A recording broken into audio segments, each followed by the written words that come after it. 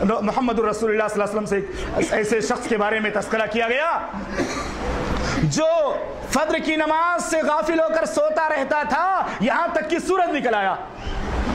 سورج نکل آیا، فجر کی نماز پڑھے بغیر وہ سوتا ہی رہا۔ اور سورج نکل آیا، اور سستی میں فجر کی نماز کا وقت نکل گیا اور سورج طلوع ہو گیا۔ آپ کے سامنے ذکر کیا گیا تو آپ نے کیا کہا؟ بخاری کی روایت ہے۔ بال الشیطان فی اذنیہ، ان بے نمازیوں کے کانوں میں صبح صبح کوئی دوسرا نہیں شیطان پیشاب کر دیتا ہے۔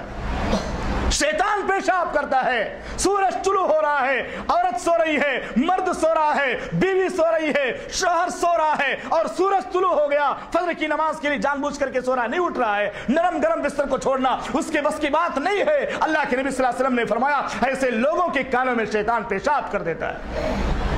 میں اپنی طرف سے بات نہیں بولتا، یہ محمد الرسول اللہ صلی اللہ علیہ وسلم کا فرمان صحیح بخاری کی روایت ہے کہ ایسے لوگ، لوگوں کے کانوں میں شیطان روزانہ پیشاب کرتا ہوگا جو فجر کی نماز نہیں پڑھتے ہیں اور سورج نکلنے تک سوتے رہتے ہیں۔ یہ حدیثیں سننے کے لیے نہیں، بلکہ عمل کرنے کے لیے۔